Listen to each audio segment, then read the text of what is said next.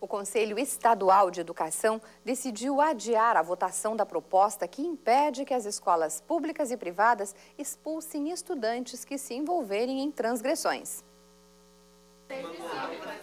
A medida, que valeria para escolas da rede pública e privada, quer evitar que as instituições expulsem, suspendam ou afastem alunos que descumprirem as regras de convivência.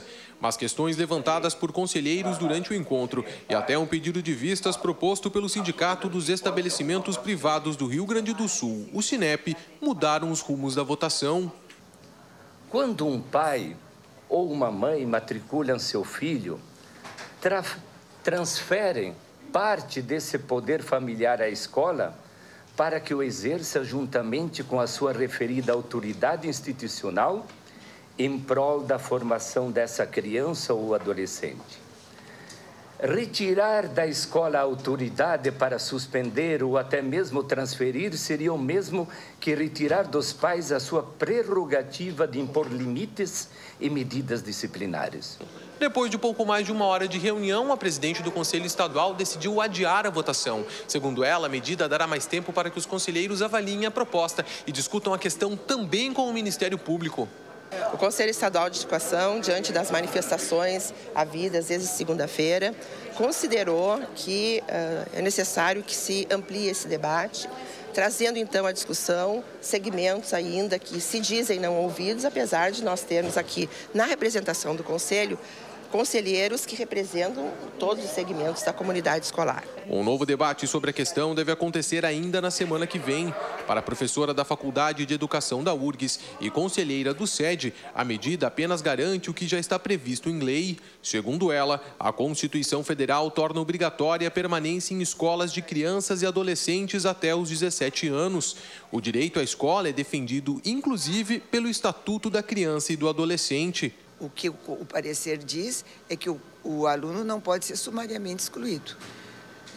Ora, a própria Constituição Federal diz que a criança e a adolescente são obrigados a estar na escola. Não só têm o direito, são obrigados. Se você vai excluir da escola, vai para onde? Para outra escola? E a outra escola que vai resolver a questão? Mas se o caso de transgressão envolver a criança ou adolescente em uma infração, que é o ato equivalente ao crime para o adulto, quem decide o que acontece é a justiça e não a escola. A forma como foi colocada na imprensa foi distorcida. Foi dito que o aluno pode praticar uma infração e não ser mandado embora. Não é verdade. A infração é uma questão de justiça e de polícia. Tem que ser julgado pelos órgãos competentes. Não se trata de infração, se trata de indisciplina escolar, que é uma outra coisa. Quem também não é totalmente favorável à exclusão é o Sindicato dos Professores do Ensino Privado.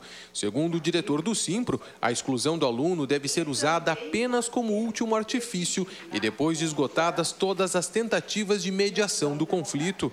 Ele defende que a escola privada dê o suporte ao professor, que se componham é, equipes é, de especialistas que possam, em conjunto com o professor, é, enfrentar esses conflitos na, nas escolas, não deixando o professor solitário nesta definição. Por isso, o, o sindicato é, afirma que é importante, sim, um trabalho pedagógico para a resolução do problema. O primeiro mês de operação do Hospital da Restinga, na Zona Sul de Porto Alegre, registrou 8.300 atendimentos na unidade de pronto atendimento. 65% foram adultos e 35% pediátricos. Também foram realizados mais de 1.300 exames de imagem entre raio-x e tomografias. Já os atendimentos classificados como vermelho e amarelo, que são situações de maior risco, representaram 20%, eh, 20% e nesta fase inicial, o hospital operou com 25 leitos de observação e mais 30 de internação, contabilizando 101 internações neste período. A portaria a ser publicada pelo Ministério da Saúde dotará ambulâncias do SAMU com medicamentos capazes de evitar o infarto em pacientes a caminho do hospital. O remédio age de forma rápida e eficaz na desobstrução da artéria do coração, explica este médico. Nós temos um tempo hábil, em torno de 3 a 6 horas, para tratar o infarto agudo do miocárdio. Lembrando a todo mundo que é, tempo é músculo, e se músculo se perde, se perde vida. Só para você ter uma ideia, no momento que a gente faz um diagnóstico do infarto, a cada hora que se passa, a gente tem uma chance de 2% de morrer. Ou seja, se nós levamos 5 horas para transferir um paciente desse, a chance de morte dele é em torno de 10%. Aí entra o trombolítico. Conforme dados do Ministério da Saúde, problemas do sistema circulatório são os que mais matam no país. Acontecem anualmente no Brasil 300 mil mortes por doenças cardiovasculares. Isto representa aproximadamente um óbito a cada três minutos. Deste total, 40% é em consequência de infarto. A expectativa é de que os trombolíticos salvem mais de 8 mil pessoas atendidas pelo SAMU por ano no país, principalmente em municípios que não têm acesso a serviço de angioplastia procedimento mais avançado para a desobstrução das veias do coração. Não é o caso de Porto Alegre, onde a rede de saúde oferece esse serviço. Desde 2011, trabalhamos então com um protocolo, implantamos um protocolo de dor torácica e de AM, né, infarto agudo do miocárdio e AVC, onde a gente consegue fazer o atendimento né, na residência do, do, cidadão, confirmando o infarto, o paciente então é encaminhado para os serviços que nós temos em Porto Alegre, que foram contratualizados especialmente para atender infarto. São cinco serviços, né, a Santa Casa, o Hospital de Clínicas, a PUC, o Instituto de Cardiologia e o Hospital Conceição. Está com dor no peito? Essa dor no peito começou agora? O SAMU da capital registrou em 2013 mais de 38 mil atendimentos. Deste total, 340 casos foram de infarto. Alguns cuidados podem ser fundamentais para a prevenção de problemas cardíacos. Previna. Essa é a nossa mensagem. Previna, previna e previna. Previna controlando a pressão, controlando seu diabetes. Não fume e trate adequadamente seu colesterol. A Via Campesina e o Movimento dos Trabalhadores Rurais Sem Terra tornaram pública hoje uma carta dirigida ao Papa Francisco I, em que pedem o apoio para a suspensão das licenças para plantio de transgênicos no mundo. O documento, produzido com o apoio de cientistas de vários países, reúne, reúne evidências dos possíveis malefícios do uso de sementes geneticamente modificadas. O documento resume os resultados de algumas das principais pesquisas já realizadas no mundo sobre os impactos sociais, econômicos e ambientais dos transgênicos.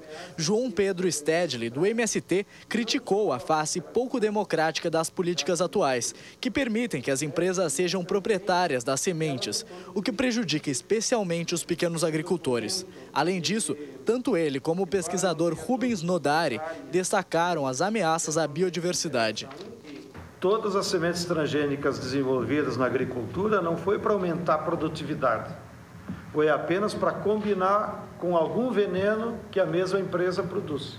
E combinando semente transgênica com venenos, eles destroem a biodiversidade. Temos resultados, por exemplo, de efeitos danosos dos transgênicos, dos componentes da biodiversidade, por exemplo, a abelha, é, micorrizas, que são é, fungos e outros, e, e outros insetos benéficos, como também nós temos efeitos, estudos, onde os transgênicos causam efeitos em animais.